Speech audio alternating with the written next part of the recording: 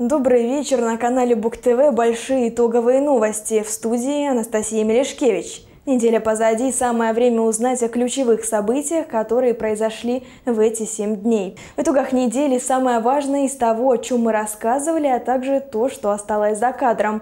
Будем вместе разбираться в этих событиях, чтобы понять, что они значат для нас с вами. Главные темы сегодняшней программы.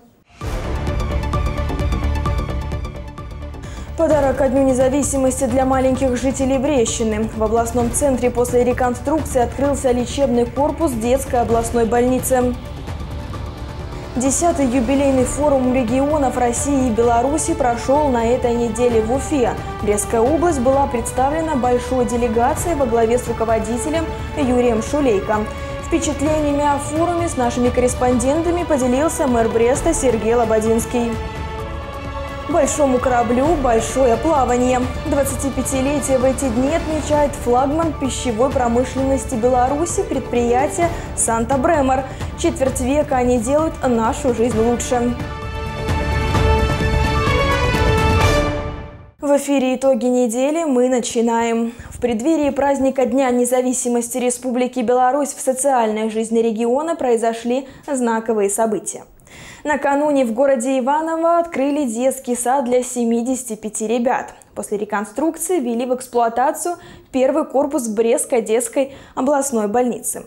В этом году учреждение здравоохранения отметит свой 55-летний юбилей. Для того, чтобы качество лечебных услуг не снижалось в больнице, не только следят за уровнем подготовки сотрудников, но и улучшают условия пребывания пациентов. С марта 2020 года в больнице началась реконструкция. Ее первый этап – строительство и введение в эксплуатацию пристройки лечебного корпуса, торжественное открытие которого состоялось в декабре 2021 года. Второй этап – тепловая реабилитация фасадов и замена кровли, а также благоустройство лечебных корпусов номер один и номер два. Далее полноценная реконструкция этих корпусов. Сейчас работы завершены по первому корпусу. Что изменилось и какие условия были созданы, узнавала наш корреспондент Евгения Мороз. В этот день на площадке у корпуса номер один Брестской детской областной больницы многолюдно. Здесь врачи, представители власти, строительных организаций. И повод отличный – завершение еще одного этапа реконструкции учреждения здравоохранения. Это, скорее, этап, я думаю, еще довольно длинного пути. Ну, потому что мы начинали с трансграничного, вот вы видите, кислородная станция, э, закупка реанимобиля большой стоимости отличного – потом пристройка корпуса, теперь корпус номер один, корпус номер два. И у нас есть еще мечты. Ну, мечты, знаете, они же превращаются в планы. И так оно и будет. Условия и для персонала, и для пациентов однозначно поменялись, потому что конфигурация даже этажей менялась, палатной, палатной части. Появилась возможность, а спрос на это есть для сервисных коек, их стало ну, в два раза больше, да, где условия будут созданы немножко такие отличные. Брестская детская областная больница – многопрофильное учреждение, которое предоставляет специализированную и высококвалифицированную помощь маленьким пациентам. Ежегодно на стационарном лечении здесь находится порядка 15 тысяч ребят. Основные корпуса детской областной больницы построены в 1989 году, и капитального ремонта здесь не было, только текущий. Поэтому вопрос модернизации стоял достаточно остро. Общая сумма работ по первому корпусу составила порядка 10 миллионов рублей. Все средства из областного бюджета. Губернатор региона Юрий Шулейко отметил необходимость и важность проделанных работ, их социальную значимость, а также акцентировал внимание на том, что повышение качества медицинских услуг – приоритетная задача во всем регионе. Вместе с тем Юрий Витольдович передал руководству больницы сертификат на развитие и укрепление материально-технической базы от компании «Бремер». Я неоднократно говорю, что э, первое лечение получает уже в приемном покое, да, или у приема на, у врача должен получить пациент и дальше быть уверен, что его болезнь или диагноз будет излечим, и человек получит тот уровень социальных услуг, который у нас сегодня необходим. Ну, пример наша детская больница. Смотрите, какая она веселая стала, красивая буквально. Ну и, э, так сказать, качество услуг, которые здесь и с оборудованием, и с мебелью, и с условием палат, э, ну, было и есть с чем сравнить. Заказчиком выступило Брестское областное управление капитального строительства, проектная организация «Брест Облпроект», а подрядчиком – строительный трест номер 8. При этом подход комплексный от замены сетей коммуникации до чистовой отделки. В чем сложность э, данного проекта заключается, что э, Здесь постоянно за стенкой буквально действовала э, вторая очередь детской областной больницы. То есть каждые ну, сутки, э, днем и ночью врачи э, лечили наших деток. Здесь надо было соблюдать э, и очень внимательно следить за инженерным оборудованием, чтобы э, медгазы поступали, чтобы электричество постоянно без перебоев работало. Э, пыли было минимально, но как бы мы, видите, сами справимся и сдаем сегодня это вот в первую очередь. Губернатор вместе с другими представителями власти, а также специалистами больницы отправились на экскурсию по обновленным площадям и смогли оценить качество проделанных работ. В общей сложности корпус рассчитан на оказание помощи 150 маленьким пациентам. В корпусе размещается хирургическое, травматологическое, а также отоларингологическое отделение с офтальмологическими койками, а также административные площади. Сейчас мы были э, на площадях приспособленных. Мы работали во время ремонта в условиях скученности немножко, немного мы страдали. А, но, тем не менее, за полгода пролечили полторы тысячи пациентов, э, выполнили около 700 операций. То есть это наши не самые лучшие цифры, но, тем не менее, помощь оказывалась в постоянном режиме, круглосуточно. Мы не убавляли ни плановую помощь, ни экстренную тем более. Поэтому результаты покажутся и дальше. Экстренная помощь составляет около 30% работы отделения. Основная работа это все равно плановая работа. Мы занимаемся оказанием урологической помощи детям, мы занимаемся оказанием э, помощи детям с гнойными проблемами, с, ну и общей хирургической помощью, то есть э, грыжи, водянки, фимозы, то есть то, что обычно делают детские хирурги во всем мире. Мы очень долго планировали в этом году, 55 лет нашей больницы исполняется. И вот практически все это время как бы мы жили в таких стесненных условиях, но благодаря вот этой реконструкции, масштабной достаточно реконструкции, которая будет еще продолжаться, э, мы, конечно, приобрели и новое оборудование, и новые площади, и улучшили условия пребывания маленьких пациентов и их родителей. Ну и, конечно же, улучшили работу медперсонала, условия работы. Можно быть уверенным, что маленькие пациенты и их родители по достоинству оценят новые условия. Скоро строители приступят к работам во втором корпусе. Здесь разместятся приемное, эндоскопическое, лечебно-диагностическое отделение, кабинет стоматолога, гинеколога, а также операционные. Будет закуплено необходимое оборудование, в том числе для высокотехнологической диагностики. Евгений Мороз, Андрей Щерба, Юрий Лемонтович для программы «Итоги недели». Вы смотрите итоги недели на Бук ТВ. Продолжаем выпуск. Десятый юбилейный форум регионов России и Беларуси прошел на этой неделе в Уфе. В этом году на форуме были представлены 58 субъектов Российской Федерации и все области Республики Беларусь. Участие в масштабном мероприятии приняла большая делегация Брещины во главе с председателем Брестского облсполкома Юрием Шулейко. За свою десятилетнюю историю этот уникальный формат межрегионального взаимодействия по праву стал своеобразным двигателем экономического сотрудничества в рамках союзного государства. На полях 10-го форума регионов подписан план мероприятий на 2024-2026 годы по реализации соглашения между Брестским облсполкомом и администрацией Новосибирской области о торгово-экономическом, научно-техническом и культурном региональном сотрудничестве. Брестский областной совет депутатов заключил соглашение о межпарламентском взаимодействии с законодательным собранием Пензенской области и утвердил план мероприятий по реализации соглашения с законодательным собранием Калужской области на 2023-2025 годы. О своих впечатлениях о форуме с нашими корреспондентами поделился председатель Брестского горосполкома Сергей Лободинский. Первое, что поразило, это все регионы России открыты к диалогу. Причем не только в каких-то культурных связях, но и экономических.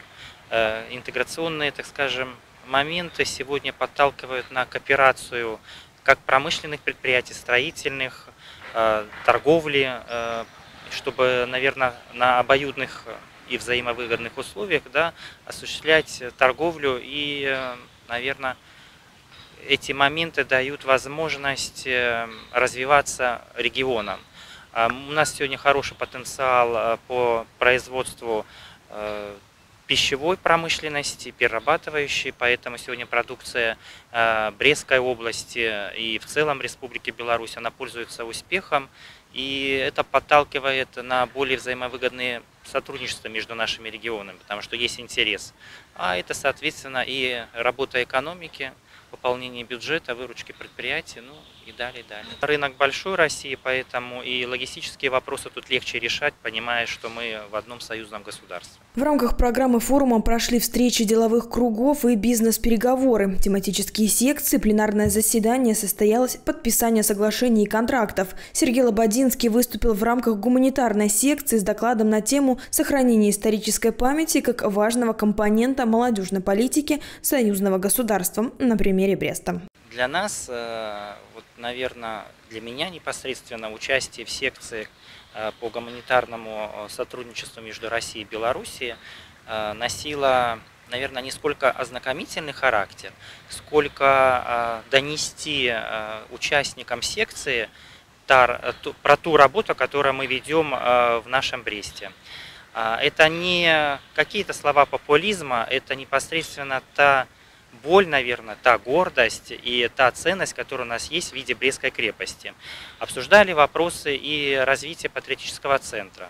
Для себя персонально э, с участием э, наших, нашей делегации съездили, побывали в патриотическом центре, который э, был так скажем, дан старт его развитию или строительству в городе Уфа.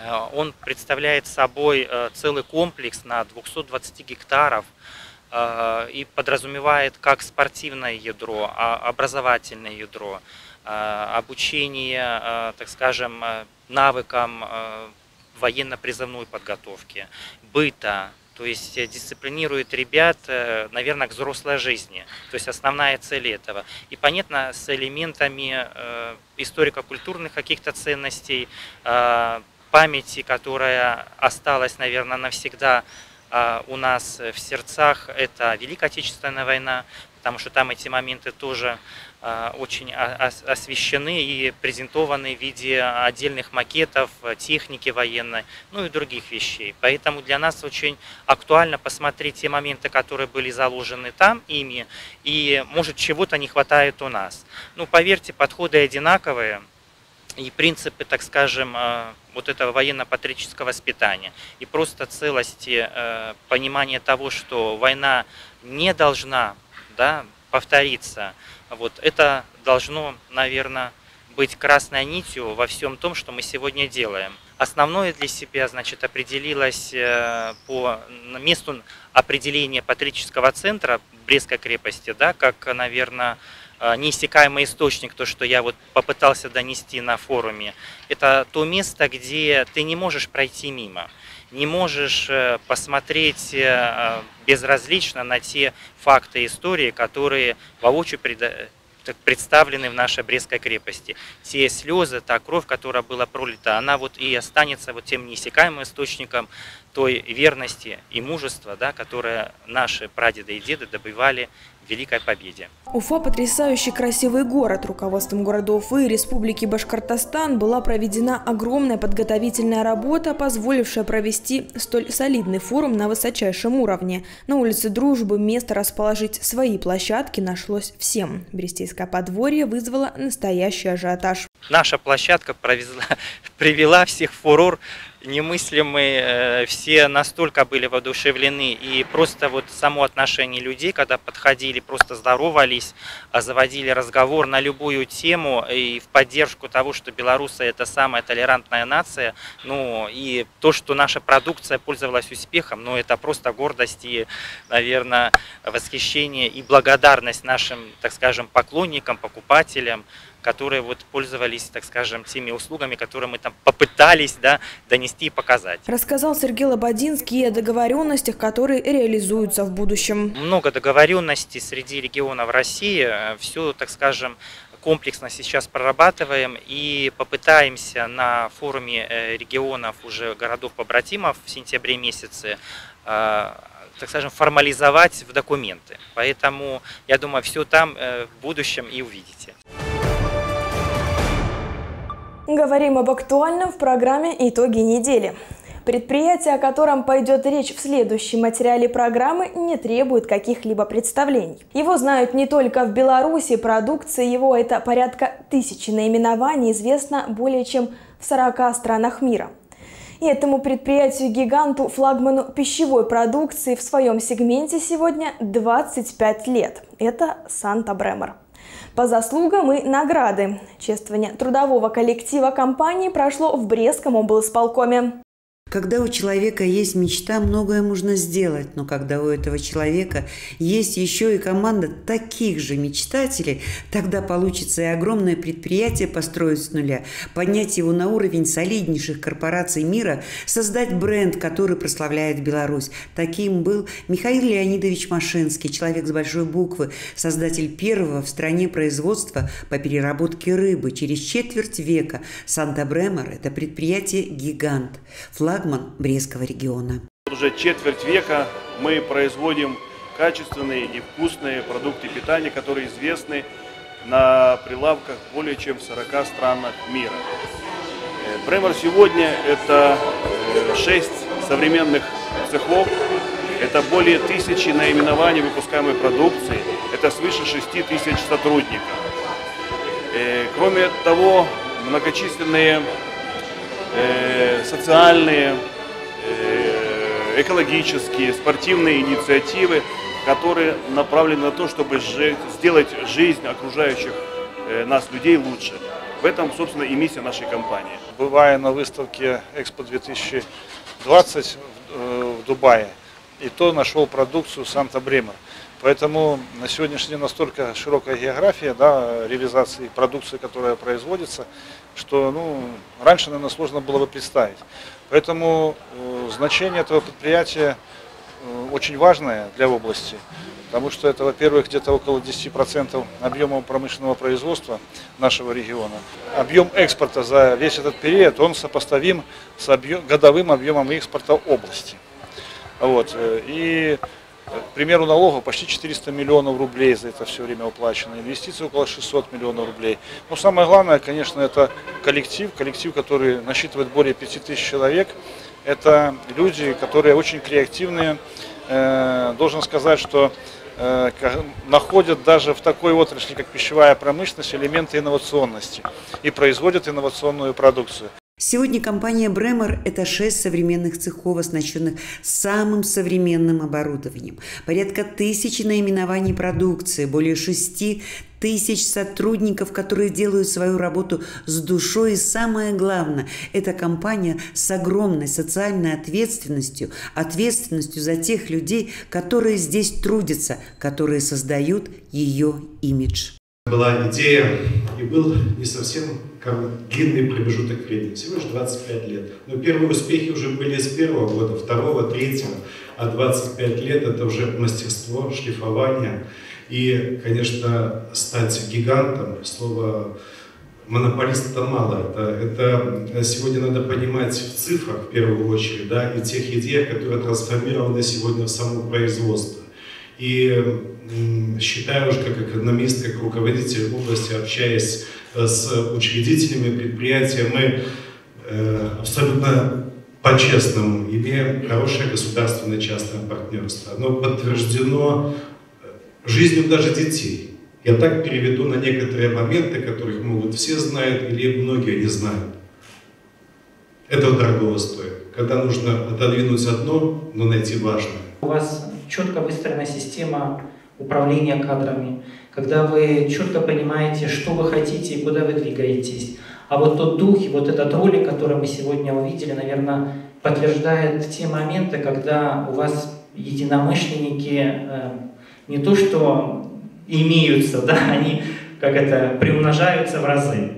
И я по-хорошему завидую, и, наверное, каждому из нас и предприятиям города, области. Хотелось бы пожелать вот этой уверенности в завтрашнем дне, понимание того, что команда может отвечать на любые вызовы. Стратегия и тактика, инвестиции инновации, сбыт, снабжение – это важно для любой компании.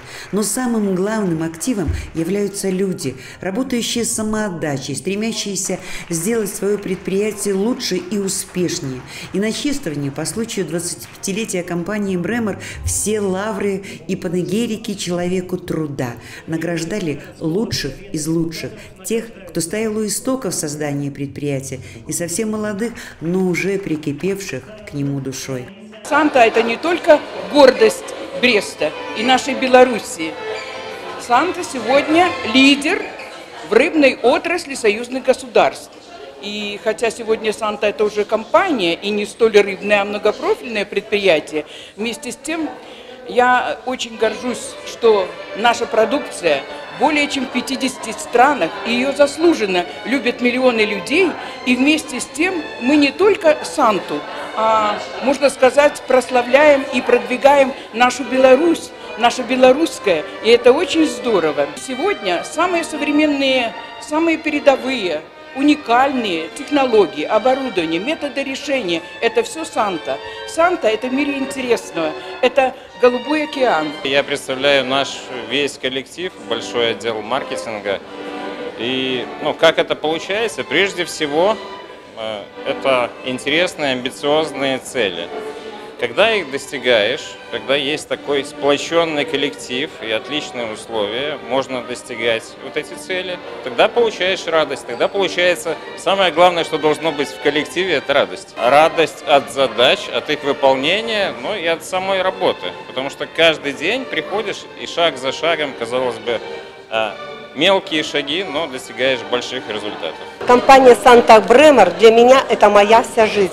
Я уже 25 лет работаю в этой компании. Мы выпускаем не только вкусную продукцию, но еще и безопасную продукцию. И наша продукция поэтому любима в 40 странах мира. О предприятии Бремера, о его производствах, продукции можно говорить долго, но самое главное, у всей этой большой команды человечность. Они умеют делиться добром с другими. Они вернули надежду многим семьям, многим детям. Они поддерживали и поддерживают много городских проектов.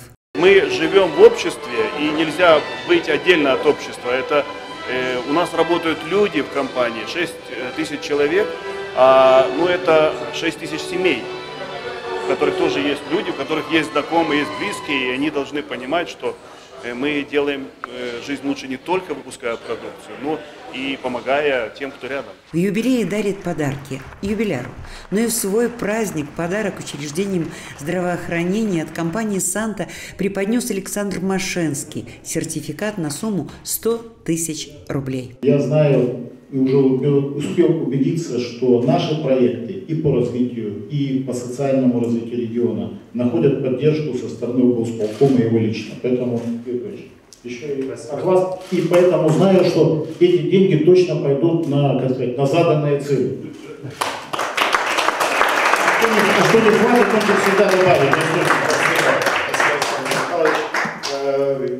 Это символично, да, вот я буквально сейчас принимаю решение, завтра мы открываем очередной после ремонта, капитального ремонта детский корпус нашей областной больницы. И завтра этот сертификат при торжественном открытии я вручу главврачу. Большому кораблю большое плавание. Пусть покорители трех мировых океанов осваивают новые воды, и пусть мечты у них всегда сбываются.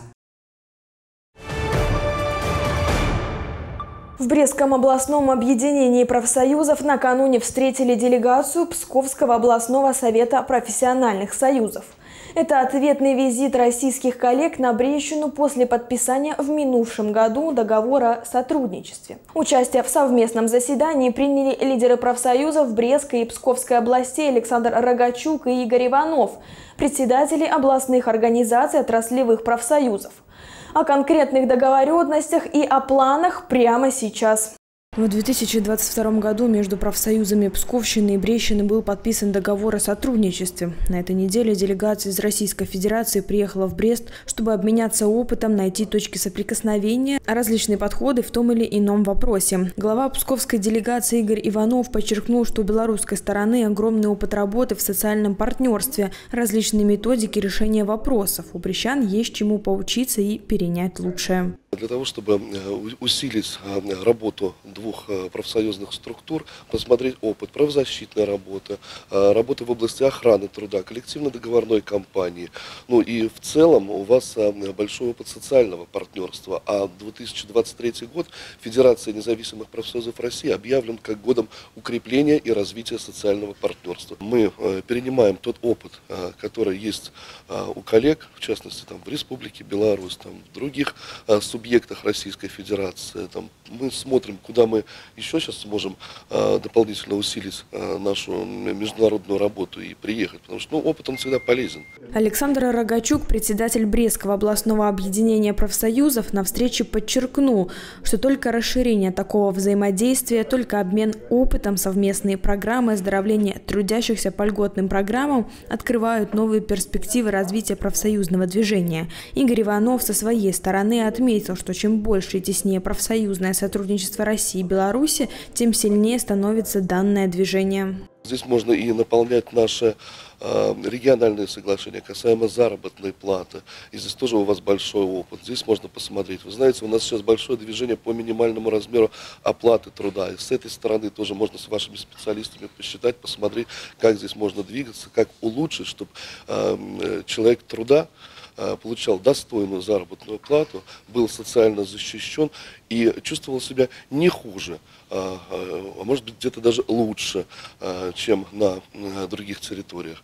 Поэтому э, наша совместная работа будет полезна. Брестское областное объединение профсоюзов открыто для сотрудничества со странами мира. Как результат, уже подписано 17 международных договоров о сотрудничестве, но не все страны сегодня идут на контакт в связи с санкционной политикой в отношении Беларуси, а потому это заставляет задуматься о сотрудничестве с дружественными странами, которые поддерживают курс нашего государства. Такими являются партнеры Российской Федерации, в данном случае из Псковской области. У нашего объединения и у наших обкомов 17 действующих договоров о взаимодействии. Они все наполнены э, каким-то содержанием. Есть своя специфика. Думаю, что отношения с Псковской областью в силу нашей географической близости, в силу нормальной логистики, оно будет включать очень серьезный компонент э, по оздоровлению, по защите прав трудящихся, обмену опытом, по э, нашим каким-то другим направлениям взаимодействия. Вот почему мы этому уделяем большое внимание. Нам надо посмотреть те страны, которые не поддались этому влиянию, и, наверное, выходить на другие регионы, на другие страны, потому что через профсоюзное общение э, тоже можно узнавать друг друга. По сути дела, профсоюзное общение – это часть народной дипломатии, о которой мы так часто говорим. Вот почему визит этой делегации для нас важен, вот почему мы придаем этому большое значение. Результат встречи лидеров организаций профсоюзов Брещины и Псковской области – дальнейшее укрепление региональных связей. Как итог подписания шести договоров о сотрудничестве между областными организациями отраслевых профсоюзов. Развивать сотрудничество договорились в отраслях торговли и потребительской кооперации, строительства, жилищно-коммунального хозяйства, государственных учреждений, леса и природопользования.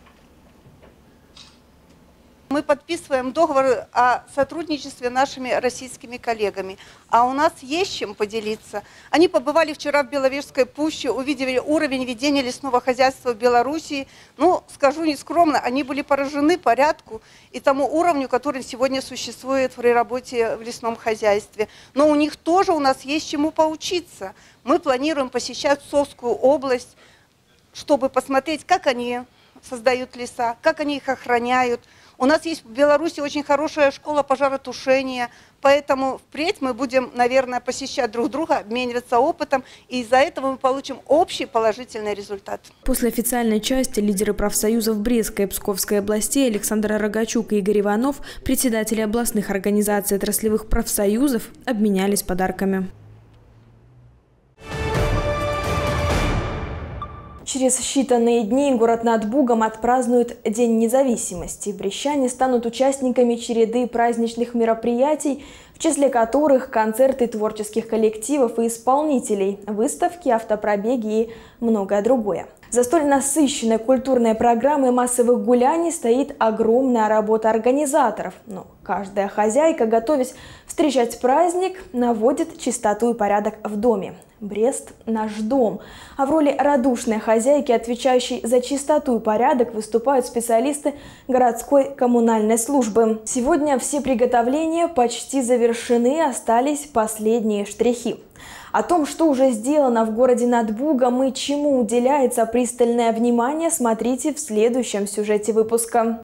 Сотрудники коммунальных служб всегда поддерживают наш город в чистоте и порядке, но к знаковым праздничным датам эта подготовка особенная. Сегодня в Бресте работники службы ЖКХ готовятся ко Дню независимости. Представители дорожно-эксплуатационной службы коммунальника приводят в порядок парки и скверы, улицы, дворы и дороги. Одним словом, большая армия работников жилищно-коммунального хозяйства делает все, чтобы Брест хорошел, а мы, брещане, не только радовались, но и ценили эту красоту и встретили праздник по-настоящему праздничным. Проведению праздничных мероприятий в городе Бресте мы уже сделали э, большой объем работ. Э, город готовился к празднованию Дня Победы, э, 22 июня. На сегодняшний день э, также город э, усиливает э, свои темпы подготовки Дню независимости в городе Бресте. Вот. Но не только э, праздничные мероприятия подвигают Э, работников ЖКХ на работу. То есть у нас есть плановые работы, мы темпы не избавляем, темпы только увеличиваются, работы ведутся по всему городу, э, всеми, э, всеми предприятиями ЖКХ. Рачительные хозяева умеют удивлять и радовать. Всех и горожан, и тех, кто приезжает в Брест. Яркие неповторимые цветочные клумбы. Буйством их цвета можно наслаждаться долго. Практически на всех цветниках присутствует не только богатая цветочная палитра, но и видовая. Петунии, бегонии, пеларгонии и другие цветы радуют глаз брещан. И уход за этой огромной оранжереей соответствующий. Город Брест считается самым зеленым, красивым городом, городом в республике Поэтому мы стараемся поддерживать чистоту, э, ухаживаем за клумбами, подсаживаем цветы, занимаемся прополкой, выращиваем цветы. Ну, стараемся держать в достойном виде наш город. На данный момент будем садить э, цинерарию, подсаживать, агератум, э, бегония здесь вот еще будем подсаживать, это эхиверия. Данные цветы, они больше виден, видно рисунок. Э, то, что запланировано ландшафтниками, он больше рисунок, очертания, э, ну, что задумано, вот ромбы там, э, надписи какие-то. Вот эти цветы, они очень хорошо пригодны для того, чтобы делать красивые клумбы. Брест – один из самых зеленых городов Беларуси. Сколько у нас деревьев, кустарников, из года в год проводятся акции по посадке новых насаждений. Однако не так редки ситуации, когда деревья создают неудобства людям. Потому по всему городу сотрудники коммунальника обрезают сухие ветки и спиливают аварийно опасные деревья. Работа в самом разгаре. Санитарные обрезки деревьев производятся для поддержания дерева в Э, красивом эстетическом состоянии, а также для удаления сухих ветвей. За прошедший период э, текущего года э, порядка 600 деревьев, по 600 деревьев выполнена санитарная обрезка, формовка. Вот.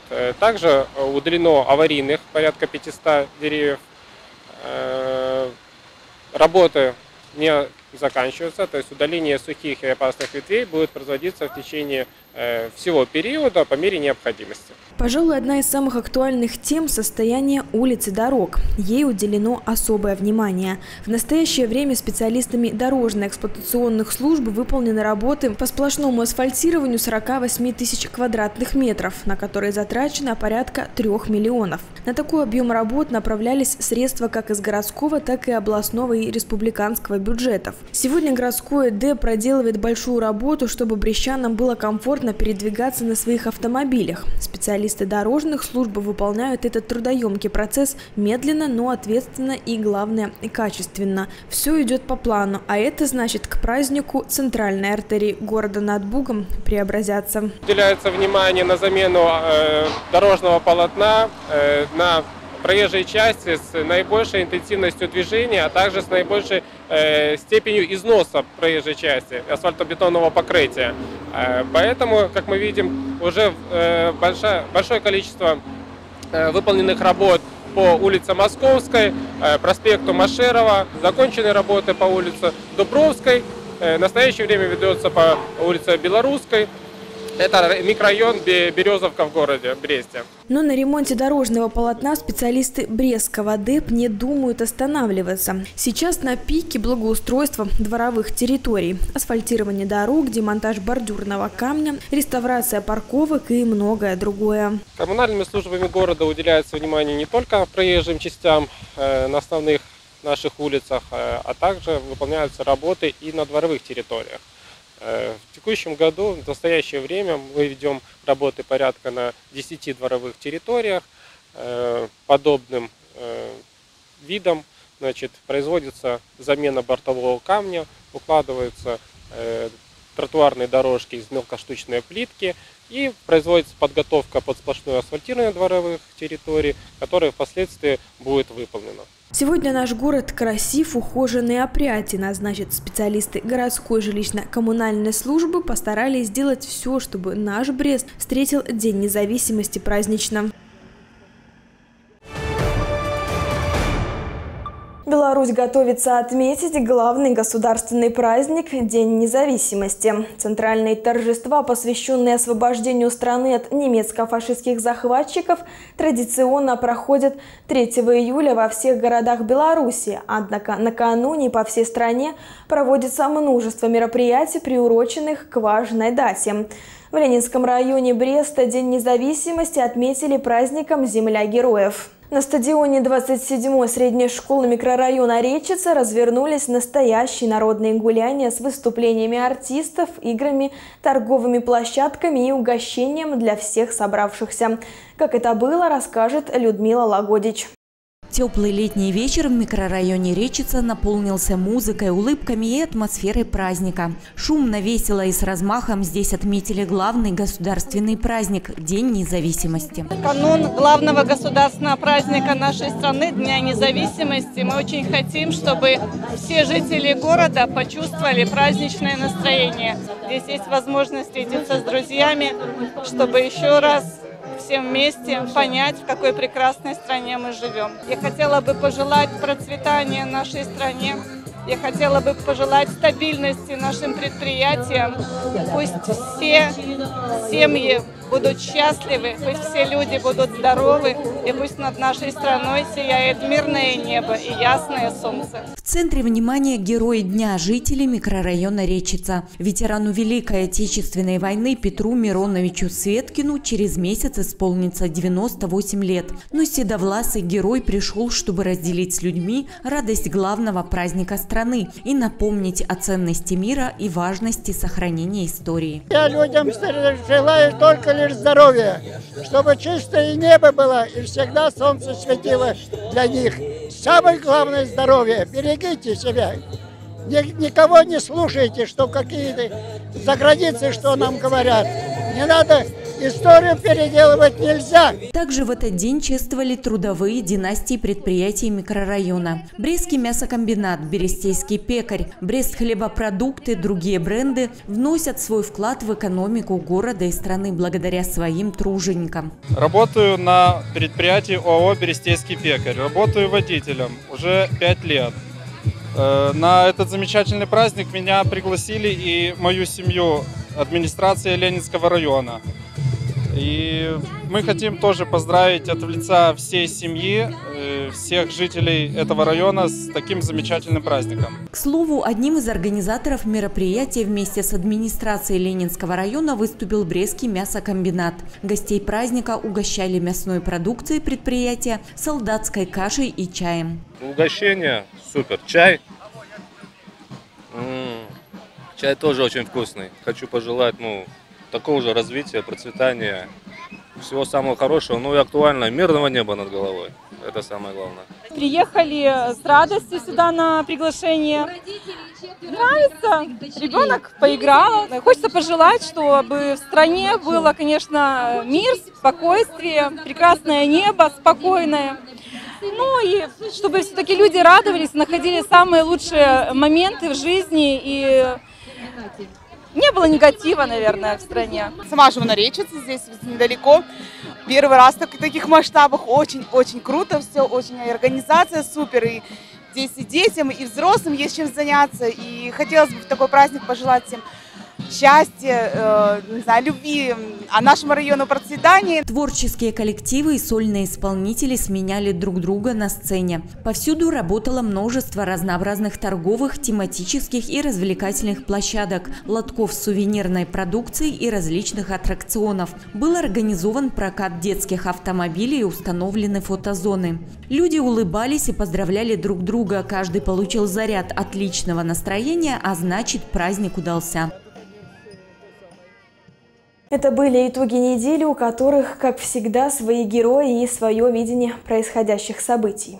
Жизнь всегда проще, когда понимаешь, как и что происходит. Ну а мне остается только добавить. Это было ваше телевидение, семейный канал Бук ТВ. Подведем итоги ровно через неделю. Я Анастасия Мелешкевич говорю вам до встречи и, как всегда, желаю, чтобы новости в ваших домах были только добрыми.